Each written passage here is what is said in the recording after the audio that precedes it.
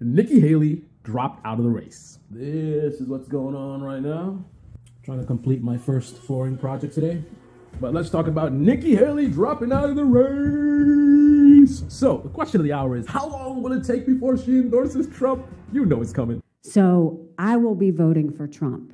So after all the harsh Christians, Trump this and Trump that, and, and we can't have a country, we gotta go forward, and, and we don't want old man. How long before she says, well, you know, the time, it's not about me, it's about the country, and, uh, you know, Trump is our nominee, and, you know, I'm gonna stand behind our nominee because the Democrats, this and that, and, and they're the, too, the far left and the socialism, and I can't stand for that, you know, I try to, uh, you know, lead a country in a different direction. Anyway, we last Trump, everybody, Trump, Trump's a good guy. Yes, the Democrats have gone too far. The left, the left has gone too far. Trump is, uh, he's the guy. Didn't you say not too long ago Trump was a threat to the country or something another and he's too old? Why are you now endorsing him? As a voter, I put my priorities on a president who's going to have the backs of our allies and hold our enemies to account, who would secure the border, no more excuses, a president who would support capitalism and freedom, a president who understands we need less debt, not more debt.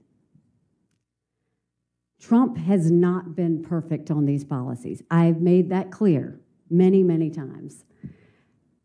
But Biden has been a catastrophe. So I will be voting for Trump.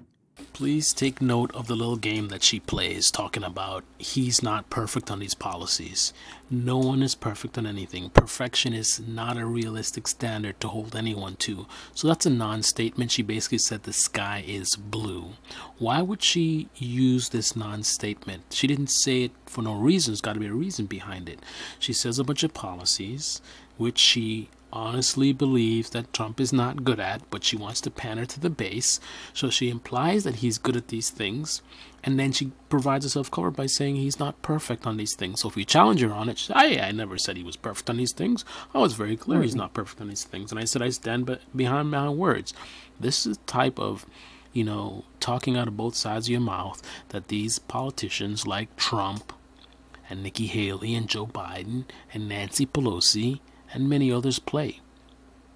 And it's disgusting.